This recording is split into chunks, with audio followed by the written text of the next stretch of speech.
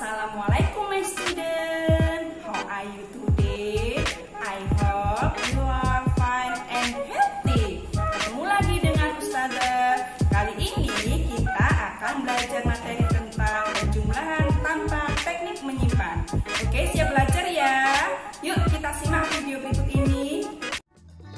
Contoh penjumlahan tanpa teknik menyimpan. Nah, sekarang kita mau belajar dulu penjumlahan yang tanpa teknik menyimpan. Kak Citra punya penjumlahan ini 2653 ditambah 3302. Nah, kita susun ke bawah dulu adik-adik.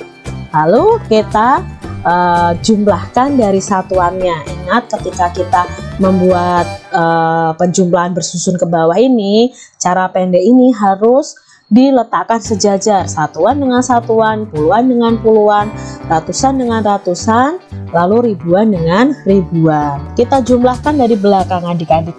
3 ditambah 2 ya 5. 5 tambah 0 5. 6 tambah 3 9 lalu 2 tambah 3 Ya, 2 tambah 3 adalah 5. Berarti hasil penjumlahan ini adalah 5955. Tidak ada teknik menyimpan ya. Oke, bagaimana anak-anak? Sudah paham kan? Kalau kalian belum paham, bisa ditanyakan ke Ustazah. Nah, Ustazah ingatkan ya,